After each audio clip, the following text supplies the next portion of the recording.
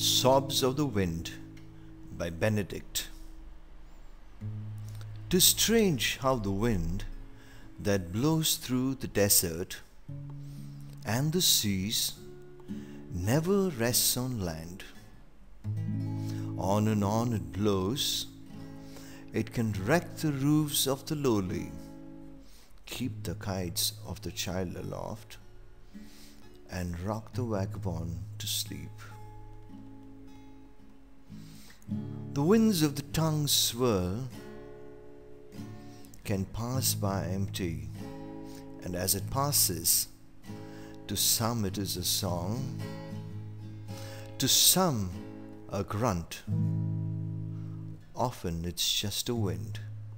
Blow your trumpets, hoist your kites, or just sob in your bed.